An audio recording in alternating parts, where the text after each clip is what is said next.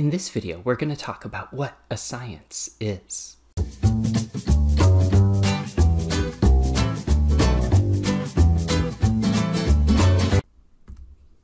Science is a systematic method of inquiry.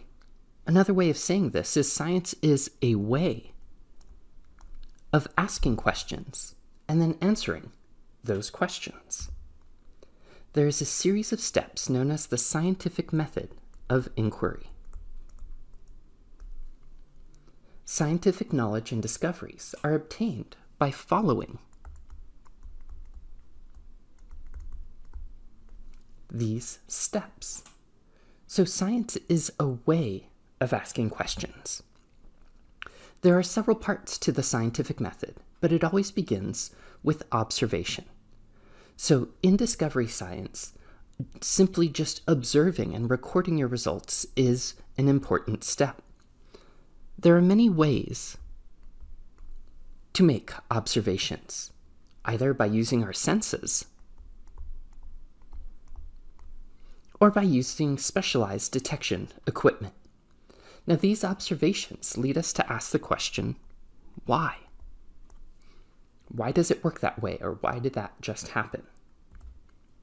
By observing nature and the natural world, we develop questions. These questions may have to do with common occurrences and events, such as going outside and seeing that the sky is blue, or seeing birds flying overhead in a V shaped formation as they're migrating. And so we can ask questions well, why? Why is the sky blue? Why do birds migrate like that? Yet often these questions will be inspired by events that seem different or out of the ordinary.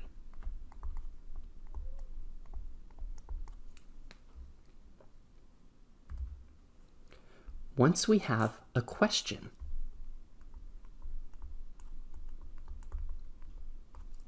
the next step is to make a hypothesis. So, what is a hypothesis? There are several ways that this can be defined, but really, our hypothesis is our answer to that question that came from the observation.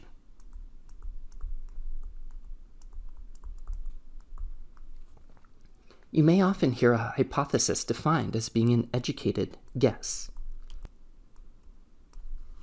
And that's true, but something that's hidden in this definition that we may not always see is that our hypothesis is based on knowledge that we already have. Now, I'd like to emphasize this concept the difference between a hypothesis and a theory. Now, you may often hear these two terms used synonymously, but in science they are very different. In science, a theory is a hypothesis that has been thoroughly tested and has not been disproven by extensive amounts of experimental data. So, someone's guess as to why something happens, that is not their scientific theory. In fact, an individual can't have a scientific theory. A scientific theory is something that's held by the scientific community because it's a hypothesis that has been tested over and over again and continues to be valid. Very different than a hypothesis. So don't let people convince you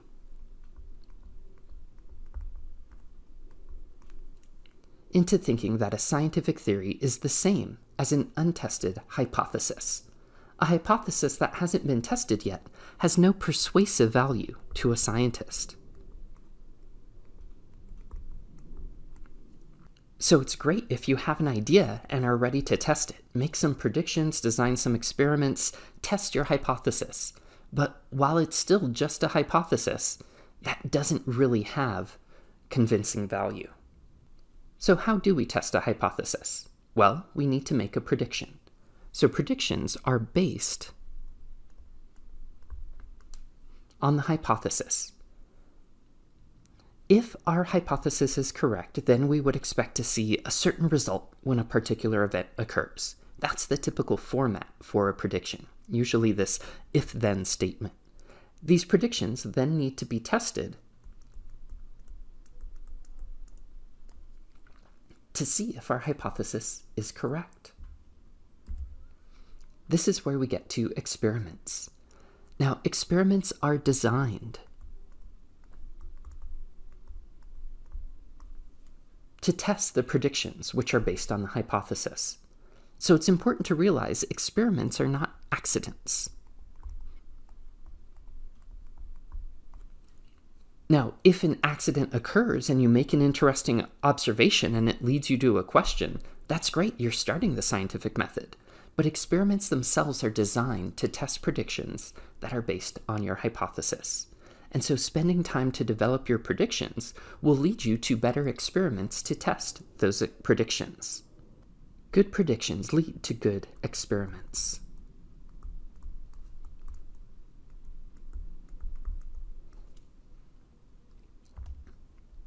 So, you've conducted your experiment. Then what? Well, upon completing the experiment,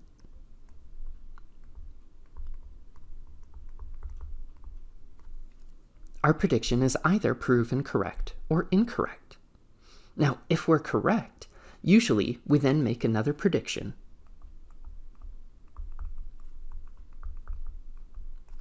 Using our same hypothesis and plan another experiment. However, if our prediction is incorrect, we need to rethink our hypothesis.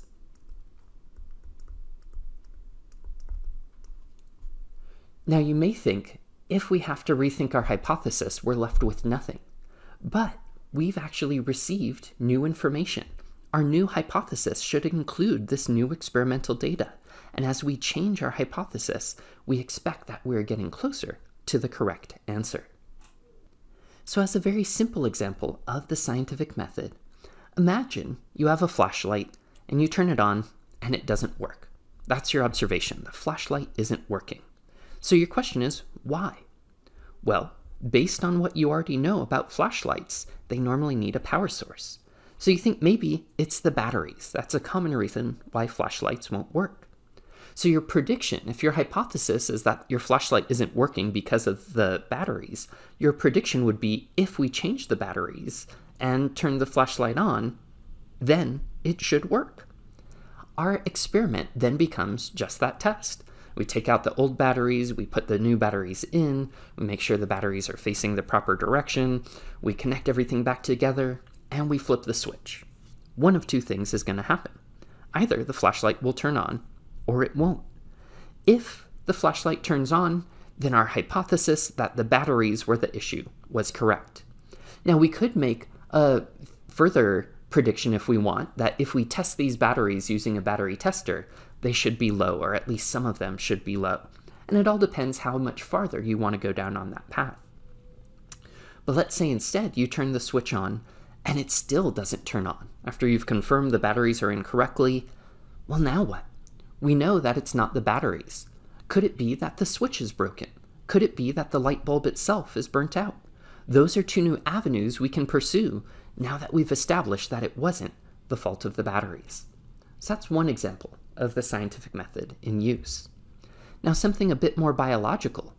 In the 1990s, there were massive fish die offs in North Carolina. Not just one or two fish, but thousands, tens of thousands of fish dead on the surface of these lakes and streams. And many different people saw this. Many people had this observation of this massive fish die off, and they all had the same question why? Well, there are multiple different hypotheses. Some people blamed pollution. Some people blamed pesticides or, or, chemicals in the water. Some people blamed birds because there are these big open sores on the sides of these fish. Some people thought maybe there were insects in the water, somehow harming the fish, or algal growth. Well, it turns out that there's a researcher in the area, Dr. Burkholder. She and her associates work with these freshwater fish in their labs, and they had seen something similar in their aquarium when these microscopic organisms called protists were present.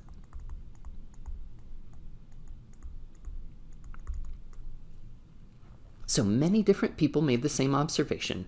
Many different people had the same question, but they all had differing amounts of information and familiarity with this. So Dr. Burkholder and her associates hypothesized that protists were the cause. That is their hypothesis, so then they needed to make some predictions. If these fish are being killed off by protists, then we would expect to see increases. In protist numbers at the time of the fish die off. That's something that they could test and see. We would also expect that if we add these protists to an aquarium containing the same type of fish, then it would cause the death of those fish as well. Another test that they could perform. So these are the predictions, which could be tested by experiments. So this is the scientific method. This is how the scientific method works. The scientific method is a great way of asking and answering questions, but it's not the only way of asking and answering questions. There are limits to the scientific method. The scientific method is useful for studying the natural world. However, there are some things that the scientific method cannot do. The scientific method cannot make moral judgments. Now, you can use evidence from the scientific method. You can use scientific facts to support whether you think a decision is morally right or morally wrong for an individual or for a society, but science in and of itself cannot make that determination if something is morally right or morally wrong. It can tell you the consequences of actions, but not its morality. Likewise, the scientific method cannot prove or disprove faith based beliefs for individuals who aren't relying on evidence or repeatability to make their decisions. Lastly, science cannot determine personal aesthetic values. Science can't tell you what color is the best color. Science can't tell you what the best type of music is. Science can't tell you whether a painting is, is your favorite or beautiful or ugly. That's outside of the realm of science. In our next video, we'll be defining ethics.